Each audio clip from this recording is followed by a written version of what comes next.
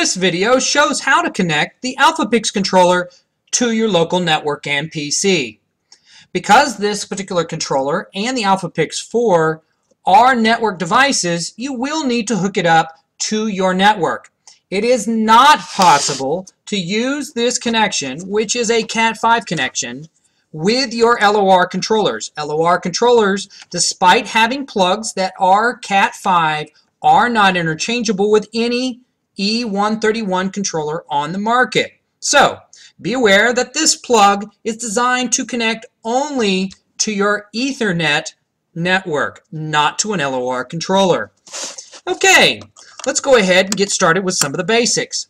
First is, this is the network port on the AlphaPix controller. Now on the AlphaPix 4, it is located on the bottom and it looks identical. On the end of the port, there are two lights. There's a green light and there is a yellow light. These provide status, and if you look on the board itself, it will indicate what these lights do. The green indicates that you have a network link, this is this one, and the yellow or orange indicates that there is data going across that connection. So this will be very helpful in determining if you are physically hooked up to the network and receiving signals. Now, we also need to hook this to our network. There's a variety of different ways we can hook them to the network. In the scenario I'm about to show you, my particular computer has two network connections. One to a wired network and one with an extra network card directly to the AlphaPix controller. This may or may not be your particular configuration. It is possible to use one wired network and simply just run the connection from your PC out to the network and then hook up to a common network desktop switch or other type of switch. You can see here this switch has a variety of different ports and you may have something called a router or a Linksys box or a Belkin box and it does something similar. You'll have multiple different uh, connections and it allows you to connect all those devices. Now, in my particular computer, it will allow me to directly connect one device, such as this AlphaPix controller, directly to the controller. But in some PCs, it is not possible to directly connect the Cat5 cable from the controller over to your PC because it does not recognize a direct connection of devices. It needs to go through a switch. So if you're unable to get links into your connection, go ahead and add a switch. So what you would do is you'd come from your computer, you would go to here on one of these ports, and then come out another port over to the AlphaPix. Okay, let's go ahead and get started. Now, of course, uh, we do have power hooked up in this particular case already, so let's go ahead and power on our controller. Now, if we do not have something hooked up to this controller port, to the Ethernet port, this controller will not boot and operate. You must plug it into a network for it to operate. Even in the test mode, you will still need to have a network connection. You can see that now this particular controller is indicated because the green light, LED number 3 right here, is not lit up.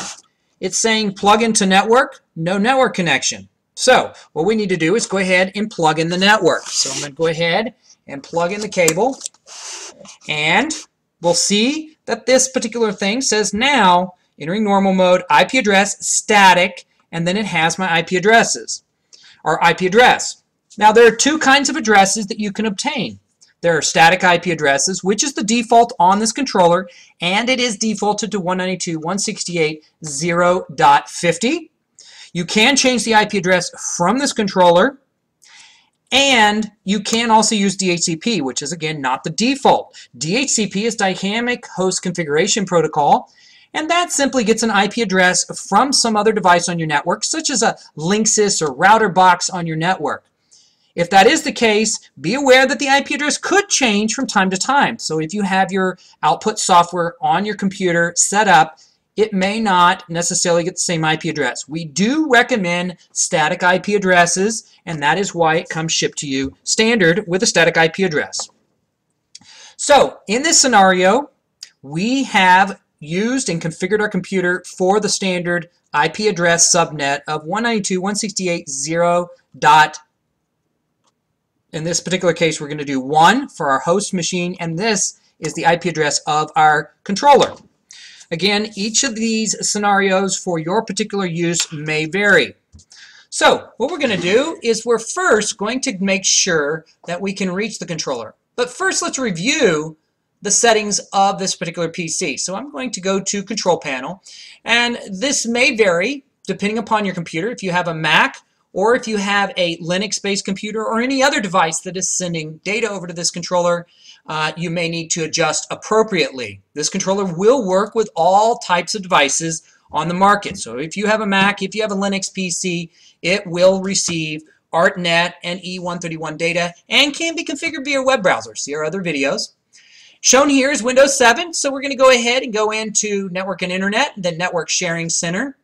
And in this particular case, we see we have two networks here. And I'm going to go over here to change adapter settings. And what we see here is we have my domain.net. That is my local area connection to my regular business network. This may be your home computer. Again, this computer does have two networks. It might be more common that you have a wireless connection to your network and then you also have an Ethernet jack on your computer or laptop. Here we have our second, second network. So let's look at our first network here. We're going to click Properties, and we're going to look at DHCP uh, IP address uh, protocol or IP protocol 4. And we can see that we have an IP address automatically, which means DHCP. So that means my regular computer, not designed and not hooked up to this controller, is designed to connect to my home network and get an IP address. Then over here we have a second network connection and a sec second jack on my computer. And I'm going to click Properties, and you can see here we're going to go to IP4. And in this particular case, I have hand-coded in the address of 192.168.0.1. Now, this subnet mask means that we don't use any addresses outside of this last, what is called octet, the last digits. And these numbers can be anywhere from 0 to 255. So, we've gone ahead and I've set mine as the primary address. Uh, you may need to set that appropriate depending upon your network. And of course on the settings of your AlphaPix controller. So this is set to 1 and this controller here is set to 50. So we're all good to go. Looks everything looks fine. So let's do a quick test. So I'm going to go here. I'm going to open up a command prompt by typing CMD or you can also find it here as a command prompt. This is going to bring up my command prompt. You may have something similar in your operating system in Mac or Linux. And we're simply going to issue a ping command, and this is pretty common across all operating systems.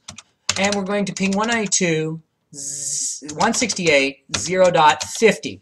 That is the controller. So what we're doing is we're going to send little bits of data or uh, ICMP packets from my PC over to the controller and it's just asking, are you there? So we'll go ahead and hit enter, and you can see that it is responding correctly. So let's show you what it looks like whenever it's not connected. So we're going to disconnect the connection. You can see that the light is not connected for a network. So we're going to go ahead and issue the ping command again, and you're going to see that it errors out. This indicates that we cannot reach from my PC to the controller. So if you're attempting to send any kind of data, such as E131 or ARTNet data, or if you're trying to reach the web browser, browser interface on the controller to do configuration or test using Xlights or other applications, and you're unable to ping this particular controller from the device that you're sending the data from, it will not work. So whenever you're not sure if there's a network connection issue, go ahead, issue a ping command, make sure that you can reach the device if you're troubleshooting inside your PC. So let's go ahead and hook up the network again and reissue the ping command again, and you can see that it's again now operational. So in this particular case, we are set and ready to go, and now can go ahead and bring up the web browser interface. So let's go ahead and bring up a web browser interface. So we're simply going to go to 192.168.0.50, press enter, and you can see we've reached the controller. So at this particular point, we have configured and are now ready to test using Xlights or other similar applications our output from our PC over to our controller and see our other videos for that configuration and testing information.